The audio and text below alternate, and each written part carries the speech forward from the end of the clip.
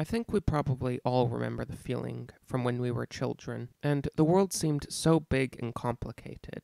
There were these governments and other big institutions that ran everything and did everything. And the things that they did were really complicated. And we didn't really have any clue how any of it worked. But because of how complex the systems that they ran were, we just kind of assumed that adults, and especially the adults that were leading society, really knew what they were doing. In my case, I can certainly remember having the feeling that anyone from my immediate family members who were adults, all the way up to the American president, must have really just had things figured out. But as has been remarked by many people, once you start to grow older, you start to realize that no one really knows what they're doing at all. Okay, maybe that's a slight overexaggeration, but only a bit. Anywhere from your parents to the figures you respected to the leaders of institutions and governments, once you get old enough, you start to get the realization that they aren't really as smart as you thought they once were. And things that seemed like a part of some sort of grand plan, more starts to seem as them just bumbling through their life. This thought process is, I believe, a very natural part of growing up. And the overall point of it is just that the world is a lot more complicated than it seems. However, this process, for most people at least, I don't think is ever really completed because many, at least many normal people, continue to have a great deal of trust in many leading institutions. We see this very clearly with phrases like follow the science or listen to the experts or evidence based policy. All these sorts of phrases are trying to stir some sort of thought in our brain that policy is as simple as going to some guy in a lab coat who's able to put some swab in a dish and determine what the ideal tax policy is or what is the best way to run race relations. Okay, obviously that's a straw man, but only a little bit. Anyone that understands the systems with even a cursory level of knowledge would say that it's very complicated, and that there's lots of experts, and they're able to do studies, they're able to analyze things, they have statistics, they have all sorts of useful information. And with this information, Eventually, they're able to come to scientific or evidence based conclusions on how best to run society. An apologist would say that certainly these institutions would not have the same level of scientific confidence that the hard sciences would have. But at the very least, these experts, who devote their entire lives to studying policy, have far more knowledge on the topic than any average person that's just sounding off, or some political pundit, whose job is not to actually look at the evidence, but just comment on the news. And on one hand, this argument isn't even totally wrong. But with a bit of investigation, you will quickly find that the so called experts, the leaders who are in charge of our entire society, are idiots. Now, why in particular am I talking to you about this today? Well, yesterday I saw a tweet from some journalist at all the big newspapers in America. Currently, he works at Bloomberg, but he's also worked at the New York Times and many of the other most prestigious newspapers in the United States. His name is Tim O'Brien, and as far as I'm concerned, he's just one of the many, many, many nameless, faceless journalists that represent all of these major institutions. I've never heard of him before, and I'll probably never hear of him again. I'm sure he sees himself as a valiant truth teller who is fighting the right wing menace which controls everything. But the reality is, of course, that he is a leader.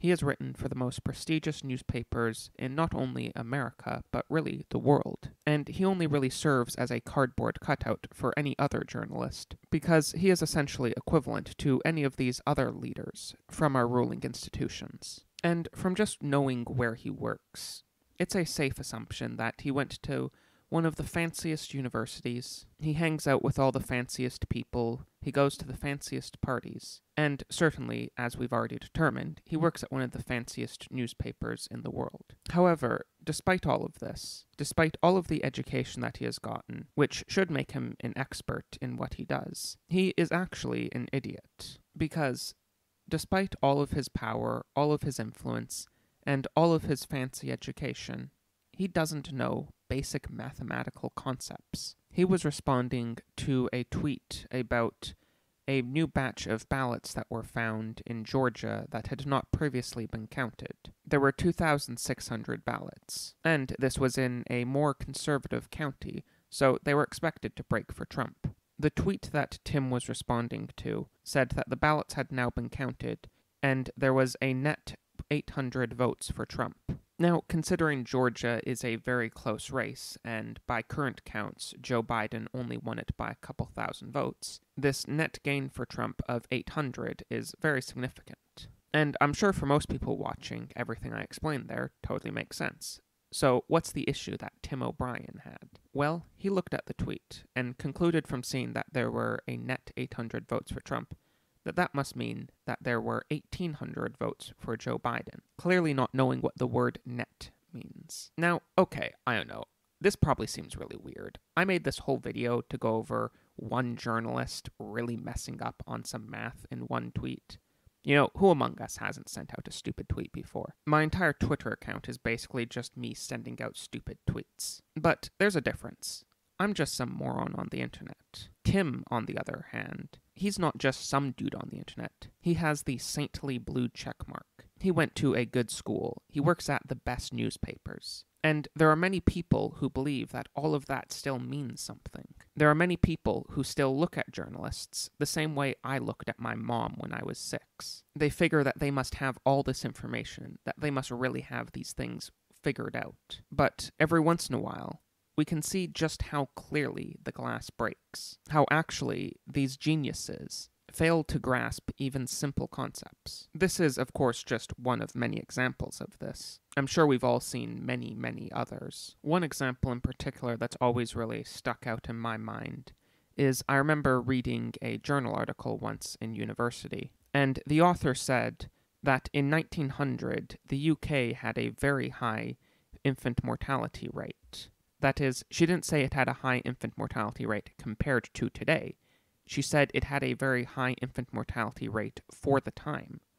And the way that she proved that was by comparing the infant mortality rate from 1900 to today. This seemed like self evidently a bafflingly stupid way of comparing statistics. But even when I brought it up to my professor and said that I thought it seemed kind of weird, I could tell my professor clearly had no clue what I was talking about.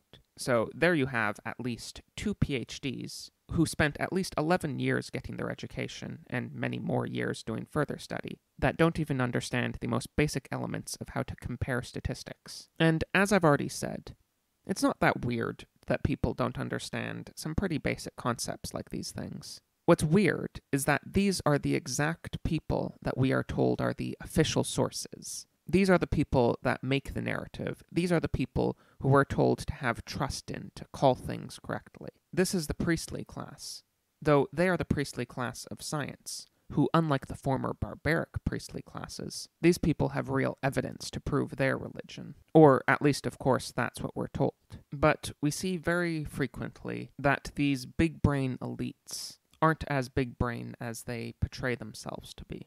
There's, of course, also the ongoing replication crisis within social science. That is, that many of these social science studies that are the evidence for the evidence based policies cannot even replicate the findings that they purport to show. But there's actually a much greater problem with this whole idea, with the concept of scientific governance or evidence based policy. The real problem with it is that scientific government can't exist. Most of the criticisms I've made thus far are just implying that it's not working well. But the real problem is that it can't work well. The reason it's not working well is just a symptom that shows that fact. Governance is principally an artistic, philosophical, and religious concept, and the values that go into determining how government should be run are primarily based on those fields, not on science. We see this a lot, especially with the current world crisis, with a lot of people saying that we just need to follow the science. We need to just do what the science says. Science is not a policy. Science can be used to help craft policy, but it cannot be used to determine how we should be governed